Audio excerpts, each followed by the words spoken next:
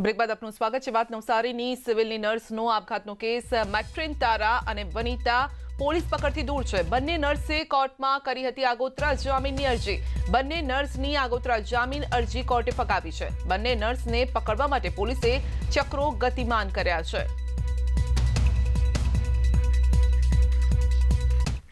હવે વાત કરીશું તહેવારોમાં ચેતવાની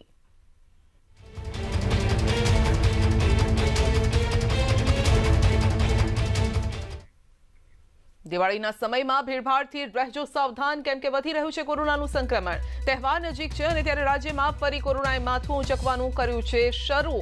તો થોડા દિવસો બાદ દિવાળીના તહેવાર આવી રહ્યા છે. અને ત્યારે જ ગુજરાતી લોકો બજારોમાં ખરીદી કરવા માટે ભીડ જમાવી રહ્યા છે. જેના કારણે કોરોના વાયરસે માથું ઉંચક્યું છે. છેલ્લા ત્રણ દિવસથી કોરોનાનું સંક્રમણ વધી રહ્યું છે. અત્યાર સુધી કોરોનાનો આંક એક હજારની અંદર રહેતો હતો. પરંતુ તેર દિવસ બાદ ગઈકાલે એક હજારથી વધુ કેસ નોંધાયા. ખાસ કરીને દિવાળીના દિવસોમાં બજારમાં ખરીદી માટે ભીડ વધતા સંક્રમણ વધ્યું હોવાનું માનવામાં આવી રહ્યું છે. કોરોના કેસ વધતા જ તંત્ર હરકતમાં આવ્યું છે અને બજારોમાં લોકોની ભીડ જોતા તંત્રે સુપર સ્પ્રેડર શોધવાની ઝુંબેશ હાથ ધરી. દુકાનદારો અને ફેરિયાઓના ટેસ્ટ વધારી દેવામાં આવ્યા છે.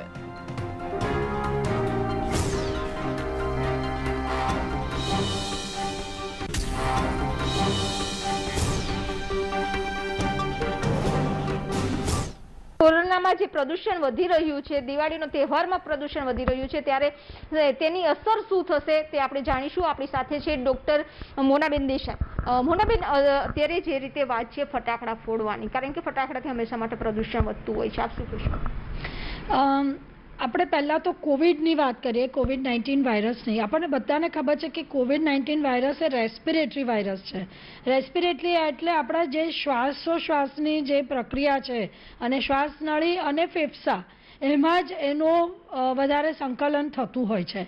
એટલે જે લોકોને કોવિડ નાઇન્ટીનનું ઇન્ફેક્શન થઈ ગયું છે ને સારા થઈ ગયા છે, એ લોકોને પણ અત્યારે હજી બી ફેફસા એકદમ નોર્મલ નથી થયા. જે લોકોને નિમોનિયા થયું હોય, એ લોકોને પણ એની રિકવરી આવતા દોઢથી બે મહિના થતા હોય છે અને જેને ફાઇબ્રોસિસ થઈ ગયું હોય, એટલે અમુક જાતનો બગાડ અંદર થઈ જ ગયો હોય, એ લોકોને ઘણીવાર પરમેનન્ટ ડેમેજ થતું હોય છે. હવે એવા સમયે ઓલરેડી તમારા ફેફસા કોમ્પ્રોમાઇઝ હોય, તમને શ્વાસ લેવામાં થોડી તકલીફ થતી હોય, જે લોકોને કોરોના વાયરસ ઇન્ફેક્શન થઈ ગયું છે, આપ જો એ વ્યક્તિને પૂછશો તો એ કહેશે કે હું થોડું પણ કામ કરું તો હું થાકી જાઉં છું. એ લોકો ચાર ડગલા બી વધારે ચાલે તો એ લોકોને થાક લાગે છે. એનો અર્થ એમ કે ફેફસા જે ફૂલ આપણા ફૂલવા જોઈએ એ નથી. હંડ્રેડ પર્સન્ટ ઓક્સિજનેશન એમના શરીરમાં થવું જોઈએ નથી થતું.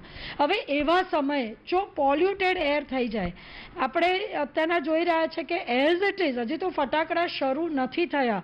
તો પણ અમદાવાદ શહેર આખા ભારતમાં સેકન્ડ નંબરે આવે છે પોલ્યુશન એર પોલ્યુશનમાં તો એવા સમયે જો વાચ્ચે ફટાકડા ફૂટે, તો એર પોલ્યુશન વધે જ છે. અને આ સમયે શું કરે? મહામારી છે ત્યારે કેમ? દર વર્ષે સરકાર અને આપણે બધા એકબીજાને અપીલ કરીએ છીએ કે આપણે આ પ્રદૂષણ હવામાં ના ફેલાવવું જોઈએ, ફટાકડા ના ફોડવા જોઈએ. તો આવા સમયે જો ફટાકડા ફૂટશે અને પ્રદૂષણ વધશે તો જેને કોરોના વાયરસનું ઇન્ફેક્શન થઈ ગયેલું છે, એને તો બહુ જ તકલીફ પડવાની છે શ્વાસ લેવામાં. પણ જે લોકોને બીજી ફેફસાની બીમારીઓ છે, એ લોકોને પણ આ પ્રદૂષણના લીધે તકલીફ થાય અને એ લોકોનું રેઝિસ્ટન્સ પાવર એટલે રોગ પ્રતિકારક શક્તિ ઓછી થાય અને એ લોકોને આવા વાયરલ ઇન્ફેક્શન થવાના રિસ્ક ફેક્ટર વધી જાય. પ્રિય દર્શકો, અમારા બિઝનેસ અને ફાઇનાન્શિયલ પત્રકારત્વના ખજાનામાંથી એક ખાસ એલાન છે. દેશની સૌથી લોકપ્રિય subscription news service money control પ્રોએ દુનિયાના સૌથી વિશ્વાસપાત્ર ન્યૂઝ બ્રાન્ડમાંથી એક ફાઇનાન્શિયલ ટાઈમ્સ સાથે ભાગીદારી કરી છે.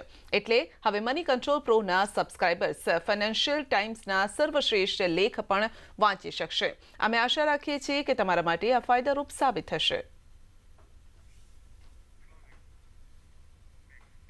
બુલેટિનમાં અત્યારે બસ આટલું જ. રજા આપશો. નમસ્કાર.